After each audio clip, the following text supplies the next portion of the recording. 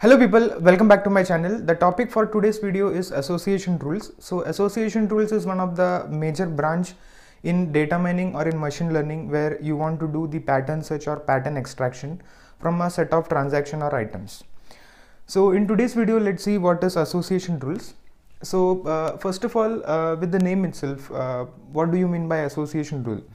So just a basic analysis uh, that is, it will be some kind of rules or set, some set of instructions that you will be using to associate certain kind of items in order to discover some patterns or some interestingness measure.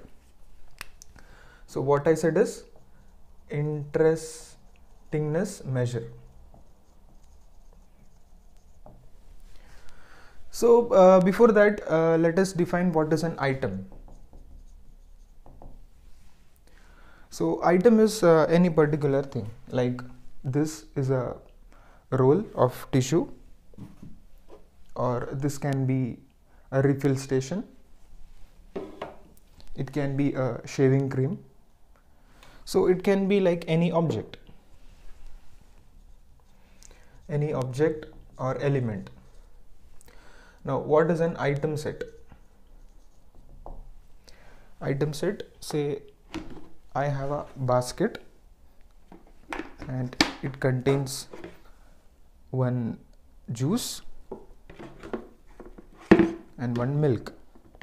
So these are two items that are frequently occurring.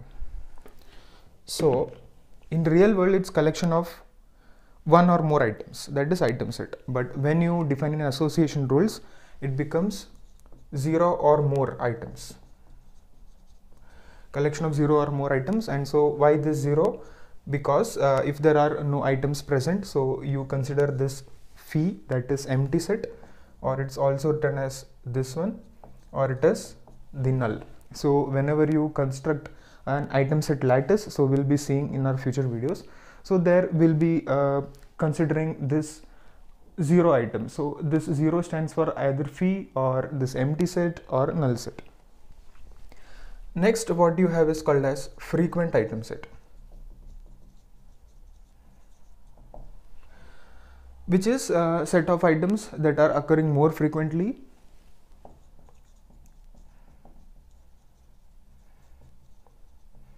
Occurring frequently.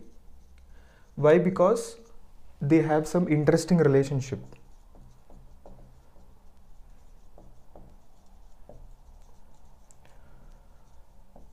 And so if we want to identify or extract that interesting relationship we define association rule. So association rules can be used to say as set of interesting rules from frequent items and so it is uh, represented as this way so whatever items or item set is present on the left hand side or whatever see here this is called as the antecedent. And this part is called as the consequent. So as a result of this item set you derive this. So it's written in this way. So in terms of crisp set theory you have a intersect c is equal to phi that is disjoint. That means there are no duplicate or redundant items present in both of this. So this is the condition that is satisfied by association rules. Now what you need to understand is something called as market basket analysis. So uh, you know the relational DBMS uh, that is you have something like this you have rows and columns. So there this particular uh, row this was called as tuple and this was called as the attributes. But when you deal with association rules or frequent item set mining, uh, these rows are called as transactions and items are called as that is the uh, columns. Transactions as the rows and items in the columns. So you can also represent this in an asymmetric binary variable. So say you have bread then beer then you have diapers and cola. So say you have first transaction. So you can represent like this. Means in the first transaction beer is consumed uh, bread is consumed beer is consumed but uh, no diapers or no cola is consumed. So you have binary representation so that is a binary variable. Now uh, what you need to do is uh, you have such kind of market basket. So uh, from this market basket you need to analyze uh, certain different uh, patterns or frequency of different patterns occurring with the help of association rules. So there are some key challenges to this. To market basket analysis say you have set of 10 transactions and uh, you need to apply this association rule so that's not a big difficulty in doing. But instead instead of this 10 you have 10k or 100k number of transactions and it becomes very difficult. So you need to first challenge is uh, you need to discover patterns which has some interestingness measure. So let's say uh, by any means you have discovered these patterns. And out of this 50% of the patterns are valid and 50 are not. Or it can be like 60% of the patterns are invalid. So it can also happen that there are some uh, misleading rules. Just focus on the word misleading because uh, we'll be encountering this word in the uh, future topics so misleading rules will carry some spurious information. That means uh, it's kind of fake or false information which will lead to some uh, inconsistent or unreliable results. So uh, there you need to have some kind of measure or some kind of uh, rules in order to uh, eliminate this kind of things. So uh, we have these two challenges for market basket analysis next what we have is we have transaction so uh, one particular transaction, say one customer uh, went to a supermarket and he took uh, bread, beer, diapers and cola and then he uh, did his billing. So that is one particular transaction. Similarly, second customer will come, he'll do another transaction. So likewise you have a set of transactions. So what is a transaction width? That is number of items that is contained or belongs to that particular transaction that is transaction width. So if I ask you what is a transaction width of T01, you will say 1, 2, 3, 4. That is 4 number of items are present in that particular transaction. Now uh, what you need to understand is uh, there is one term called as support count. That is the set of item set that are frequently occurring in one particular transaction.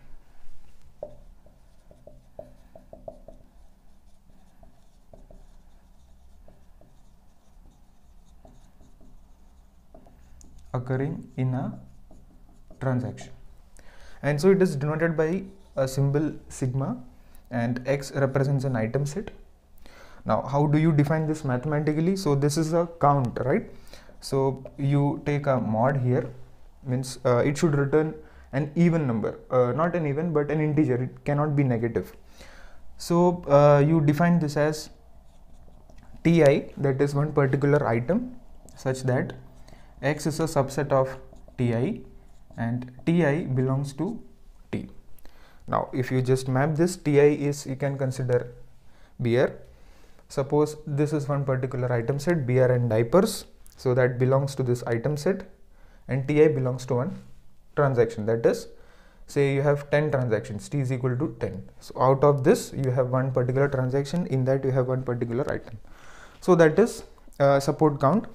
And so uh, when you divide this with the help of the total number of transactions not the total number of items total number of transactions you get a measure called as support now this is support over particular item set. That is x. X denotes item set. Now you can define x or support over a rule also. Support over a rule say x derives y. So it is given as x union y upon total number of transactions. Now uh, what support gives or what support is used for in association rule. So it is used to eliminate uninteresting rules. So suppose uh, in this particular transaction you have derived six rules in total and some of the rules may be redundant or some of the rules may not be uh, that interesting to you so you may have four rules or two rules so support is used to eliminate such kind of things so support in mathematical terms it's given in this way as a ratio of x union y that is uh, the occurrence of these two events in a joint way as a union and divided by the total number of transactions. Next, what you have is called as confidence. Confidence is defined as the inference made by a rule, inference of a rule and its reliability. means you have got a particular rule then how confident is that rule to apply to that particular item set is it reliable or not? So that is defined by confidence. So confidence can also be written as the conditional probability of y given x. So this we have already seen in uh, Bayes rule. So if you want to know what this conditional probability is you can just watch that video. I'll give a link in the description so uh, confidence is used to uh, derive the inference made by a rule and it also defines the conditional probability. How do you estimate mathematically? So confidence over a particular rule x derives y is given as x union y upon whatever is there on the antecedent side. So that is sigma x. So this is the confidence definition. Now uh, what you have is uh, called as the frequent item set we have seen here that is a frequent item set so how do you derive frequent item set so in particular transaction you will have some kind of parameter called as min sup or min confidence so that is given by the uh, mining algorithm so say uh, you have 0.3 or 0.5. So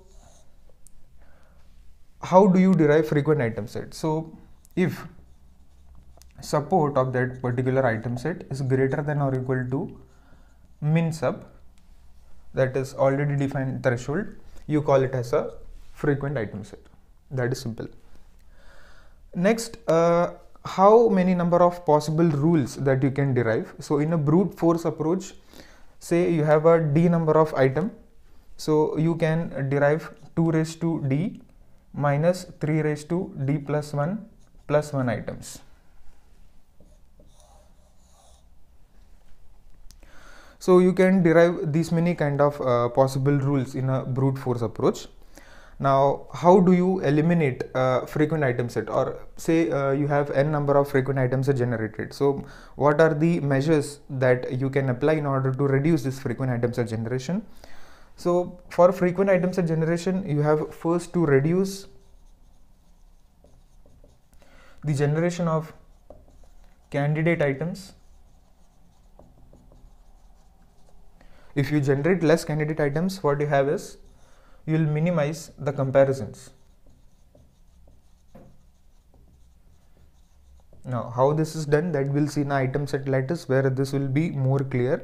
So just for the time being uh, you just can uh, understand that uh, you need to uh, lesser generate the uh, candidate items and thereby you can minimize the comparisons.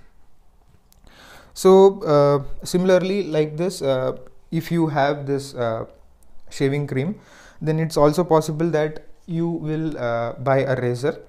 So these are frequent items which are occurring together. Or if you have this marker itself you can buy uh, this you'll also buy this uh, refill station. So these are frequent items occurring together. Or you can also buy this duster. So these are frequent items or with this you can buy a brush with this shaving cream. These are frequent items. Or milk and juice. So these are frequent items but it's not that strong. So thereby uh, you define some rule. That is you have this normal rules. So from that you need to derive some kind of rules which are very strong so those are called as strong rules. So how do you determine strong rules? Rules which are greater than or equal to the min confidence which you get from here which is already defined by the algorithm. So if you have certain kind of rules which are greater than the min confidence then those are called as strong rules. So well that was all regarding some of the basic introductions and terms which are required for association rules. So hope you guys enjoyed this video. Found you educated this video. Please do like share comment and if you are new to the channel please consider subscribing. Thank you very much for watching this video